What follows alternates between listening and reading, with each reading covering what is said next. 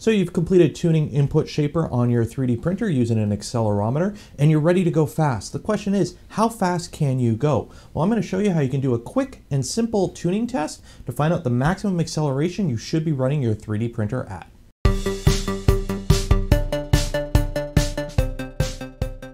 So this video is pretty much a follow-up to the recent stream where we did this procedure live. And to ensure you're not missing out on those weekly live streams, make sure you are subscribed to the channel and ring that bell. Yay, YouTube algorithm stuff. Now in that stream, I did cover some additional questions about the ADXL 345 and input shaping in general. And I also went over how we went ahead and found out what the maximum acceleration we should be running this 3D printer is at. Now when it comes to finding out the maximum acceleration of your printer, it's very much like a pressure advance tuning. You're going to run a simple print using some parameters inputted, and you're going to measure the results on the print, and you're going to use that to determine your maximum acceleration value. Now the object we're going to be printing here is the ringing tower from the Klipper GitHub files. Now we are going to have to print it at some specific settings. You are going to want to print it with a layer height of around 0.2 or 0.25 millimeters. You can go ahead and turn off top and bottom layers as well as infill. You can print it with one to two perimeters. However, you can also print it in vase mode with a one to two millimeter thick base. You are going to want to print it fast at approximately 800 to 100 millimeters a second. I went with 100 millimeters a second. This will depend on your printer. And you want to make sure your minimum layer time is at most three seconds. And you're going to want to make sure in your slicer, any acceleration control settings are disabled. Now, when you go to print the model, you should be printing it as the model loads with the X and the Y in this direction, such as that. You should not be rotating this model at all. Depending on the size of your printer bed, you may have to scale this model down slightly on a smaller printer. This model is 120 by 120 millimeters. If you do have to scale the model down, scale it down as minimally as possible. Now, before you go to print this model, you are going to have to input some commands to your console. The first one is disabling pressure advance. You're going to want that turned off for this test. And then the second one here, and I'll have these linked below, and the second command lets it know that it's running a tuning tower test for acceleration. It's going to start at 1,250 millimeters a second for acceleration and ramp up from there. Now you're going to go ahead and let this print complete. And once it's done, let it cool, remove it from your print bed and pull up your calipers because you're gonna have to measure some stuff now. And what you're gonna be looking at is the portion here with these curves and where the gap widens, that's gonna be the point that your acceleration is starting to get too much. So an easy way to measure this is know that when you start, you're at 1250 millimeters a second for acceleration, and each band is an additional 500 millimeters of acceleration. So what you're going to do is measure from the bottom to the point where you start seeing gaps in your print. And then you're going to count the full bands that are good, and then stop once you get to a band that has a gap. So in my case here, we have 1250, 1750, 2250, 2750, 3250, 3750. And then there was a little bit of a gap starting to open up here around 3500. But as you can see here, above 3750, we start having the gap open up and widen. And at that point, we are pushing it too hard on the acceleration. So what I recommend is go ahead and find out where the gap starts to open and then drop it down to the next full value. Of, so in my case here, I'm gonna run with a maximum acceleration of 3,500 millimeters per second on this printer.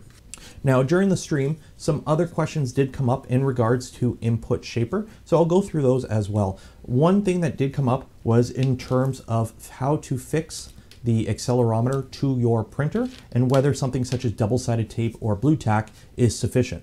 So this was something that we did during the live stream. I went ahead and taped down the accelerometer to the bed and we compared it to the results from screwing it down to the bed rigidly. And as you can see here, the chart on the left is with it taped to the bed and the chart on the right is with it rigidly mounted to the bed. Now, as you can see here, there is a difference in the amount of vibrations measured. So as you can see here, with it screwed to the bed, we are measuring around 65 hertz. And with it just taped to the bed, we are measuring 69.2 hertz. So there is a bit of variation between rigidly mounting it and having it mounted using something that's not as secure, in our case here, double-sided tape. So what this goes to show you is that depending on the method you use for mounting the accelerometer, you may have a slight variation in measured outcome. Now, when it comes to doing your input shaper tune and the value, it's kind of akin to a PID tune on a printer's hot end. when you PID tune your hot end for 200 degrees Celsius and you decide to run it at 210 or 220, the values aren't going to be perfect, but you're going to be close enough that you're probably not going to see much of a difference in the outcome. This can be true of input shaper. If you are off a couple of values when it comes to tuning your input shaper, the majority of the time you're really not going to notice much, if any, of a difference as long as you're close enough. So if you're unable to mount the accelerometer to your bed, say for example it has a glass bed that is fixed in place and you have nowhere to screw this to, you can go ahead, double-sided tape it, use blue tack, whatever you have to do, just try and secure it as rigidly as possible. Now, another thing that did come up during the streams, and I've been asked a lot about it as well, is the values for input shaper itself and why I recommend starting with the MZV instead of using the values that input shaper recommends that it spits out during the tune. So you may have noticed on the chart here, when you do your input shaper tuning, it does recommend a value and it does recommend a specific input shaper. So in our case here with the bed on the y-axis, it was recommending an input shaper of 3 hump EI and a value of 65.8 hertz. So you may be wondering why I didn't recommend going with that and I recommend going with whatever peak is the highest and using MZV. And the reason for that is sometimes the recommended value that it gives you can be a little bit too aggressive. So what I've done is I've gone ahead and printed two calibration cubes here. Now, both of these are the Voron calibration cube. They're printed at 200%. Both these are the exact same G code. They are printed at 3500 acceleration, which is what we decided was going to be our max for this printer. And the only difference is, is one cube is printed with the values from the original video with MZV as the input shaper. And the second one here is printed with 3 hump EI and the values that input shaper recommended I used. Now, when you compare these two prints, they are going to be relatively close to each other in quality. Now, I have gone ahead and redone the pressure advance tune for both of these as well, because remember, you do have to redo your pressure advance anytime you adjust anything in terms of input shaper and the values used. So when you compare the two cubes here, and the cube on the right is the one with the recommended values, the cube on the left is with the MZV values, you can see that the cube on the right does have a little bit less ringing. However, one thing that it's going to be kind of hard to show in the camera is that the corners themselves are not quite as crisp on the cube with the recommended settings versus the cube with the MZV settings. And that is one of the big differences with the more aggressive input shapers. They do have a tendency to round the edges of a sharp object. So that's why I recommend you go with the MZV values. You are going to have a noticeable improvement in print quality versus no input shaper. And then if you are looking to improve quality a little bit more, go ahead and start trying out some of the more aggressive input shapers and see if there is an outcome that is desirable to what you're looking for. Now you have to remember as well, input shaper is not a magic bullet. You're not going to be able to do an input shaper tune, find out your max acceleration, and then set those values in your printer, find out your max flow rate, set that to max, and print all day and still get perfect objects you are still going to have to do things such as control your speeds. You may have to drop acceleration when it comes to outer perimeters so you can still get the quality that you're looking for. Just because you can run at a maximum of 3500 acceleration doesn't mean that that means the print quality will always be great at 3500 acceleration. So what I do is I normally take my max value, use that for things such as inner perimeters, infill, travel, and then for my outer perimeters and small details, I usually still drop the acceleration to about half that, just to ensure that I'm getting the maximum amount of quality out of my printers.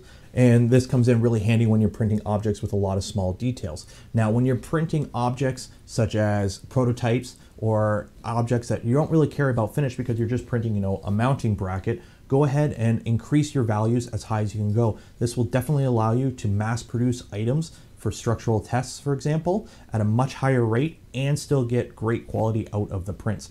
I know a lot of people who do the Voron Print It Forward program run Input Shaper on their machines and they're saving several hours when it comes to printing full batches of Voron parts and still getting great print quality.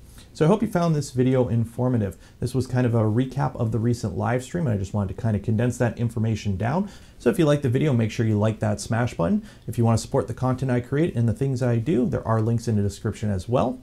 I hope you learned something new today. And as always, have yourself a great day. Thank you.